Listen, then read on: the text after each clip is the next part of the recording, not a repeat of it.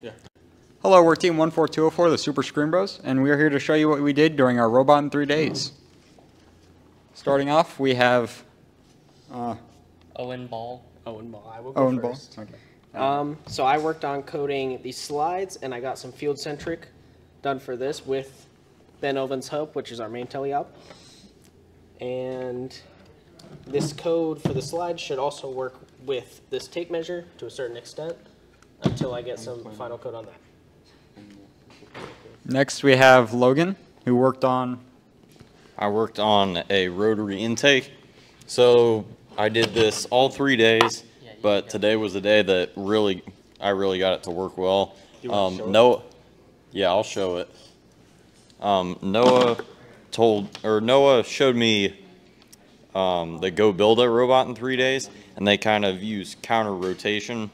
So it, this little, um, I forget what it's called, but this little uh, part here, it's kind of supposed to grab the pixel and then pull it up. So the idea is that the um, pixel is going to go in there and then it'll suck it in and then there will be a ramp just after that. So um, every time we've tested it, it's worked really well. So as you can see, it does a good job of like, as you can see, it does a pretty good job of like kicking the pixel up so that whenever we eventually design like a ramp and more stuff to push the pixel along, we'll actually be able to get that, the pixel up off the ground, which is what we were kind of struggling to do for a little while there. And also, um, I'm changing the angle of this too, and it's worked with really every angle that I've done.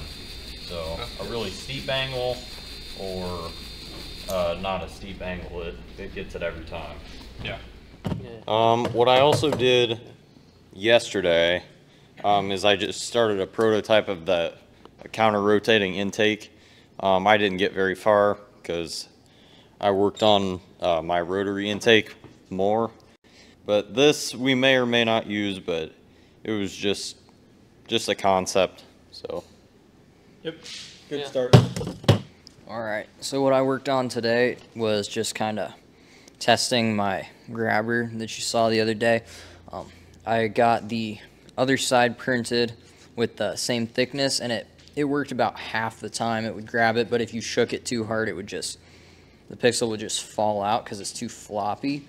So then I added rubber bands here to kind of try to increase the grip but that just kept it from forming around the pixel as much as I wanted.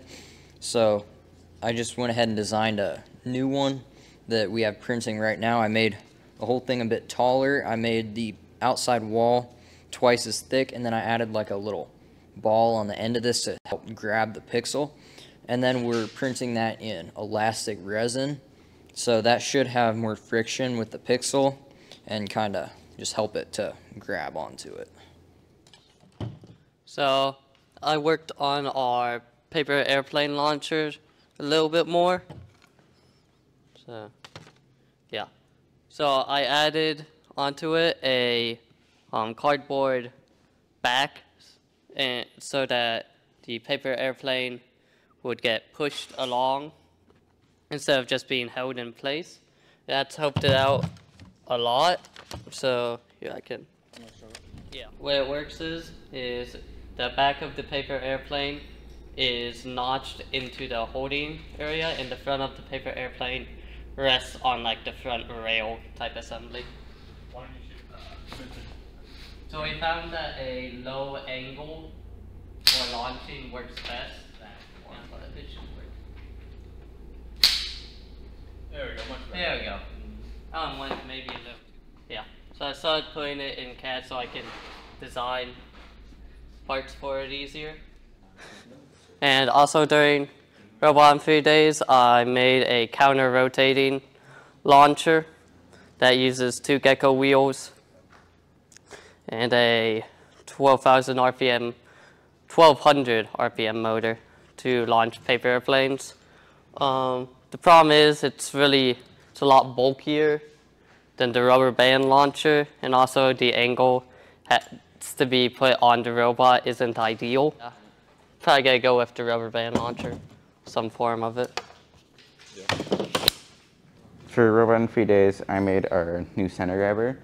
So the green bits on the bottom are TPU, they're flexible.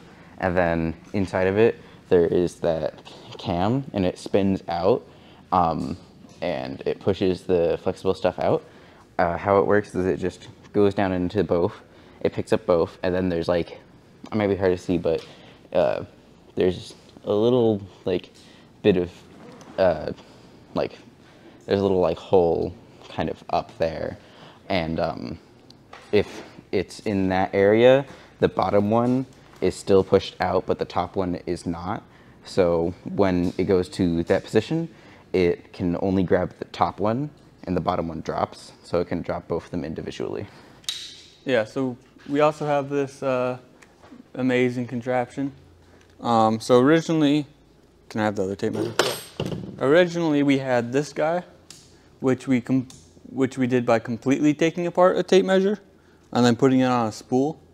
And we thought that we'd be able to just spin it, spin the spool, and then to extend and retract the tape measure.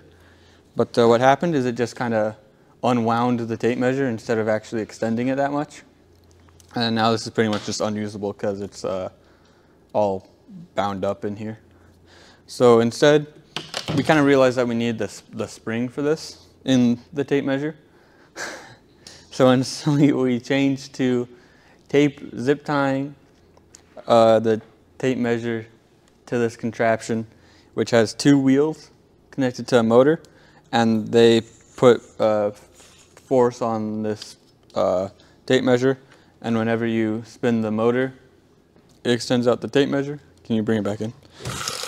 And you can also use it to retract it, and it's pretty quick, and it's also a lot stronger than this other one because this this tape measure is really small, so it's easy to just push in and bend around. Can you extend this a little? Really. Yeah, can you stun me? Stop before you munch my fingers. It's a lot harder to like break in. Takes a lot more force. Yeah. Alrighty. Um, we also, I also worked on a winch system. Where did my hook go? Oh, here it is. I worked on a winch system which used this hook, which we attached to a flexible piece, and it would pull down on. The flexible piece would just raise up the hook so that we could hook it onto the thing, and we've we've taken it apart, but so it would hook onto the thing, and then we also had the string connected to the hook, so that way we could pull on the string, and that would pull down the hook, and the flexible part would just flex away because it's obviously flexible, and the hook would just obviously hang on to the part, and then we just pull down with this, which we have connected directly to the 30 RPM motor. So that worked pretty well for picking up the robot. The problem was that since it's a string, we had absolutely no uh, way of stabilizing the robot, so it just completely went sideways when we tried it. Other than, other than that, it worked fine. So, but we also couldn't raise or lower the hook, so it was too short. So what we're what we thought about doing was one thought that we have is that we can put the hook on the tape measure, and then we can extend the hook with the tape measure. And we were initially going to try to uh, have just have the tape measure pull itself back in and see if we could lift the robot with that. But we tried some uh, testing with it, and this can lift itself, but it's pretty heavy by itself. And if you add like hardly any more weight, it's just not going to be able to lift it any anything else because uh, the wheels slip on the tape measure, so it just doesn't have enough grip there. But we, we can still put the hook on the tape measure and then pull it down with the paracord if we need to. All right, that's all I had to talk about. But yeah, we decided to test out the holonomic chassis due to the fact that it is a lot lower to the ground. Um, this allows for more room from the chassis to the actual trusses. We could then fit more stuff and be able to not sacrifice, nav- not easily easily navigate the field. Yeah. Um, we still tested the mechanism, just know about how fast that would be as well compared to the holonomic, as we have noticed speed is a lot, or speed is of high priority with the pixels as you have to go from one corner of the field to the other. So faster cycle times means more pixels on the backdrop. So more points. Anything else to say? We did add Viper slides to our Mecanum chassis. We were Oh, yeah, planning on that's kinda- testing those out to lift up the robot. We never did get off, get to work in that. Um, so our next steps th- with all this information is probably continuing it in a sprint-based process in our, our agile development system. Um, Oh, we, we also got the field all assembled. oh yeah. All right, do it.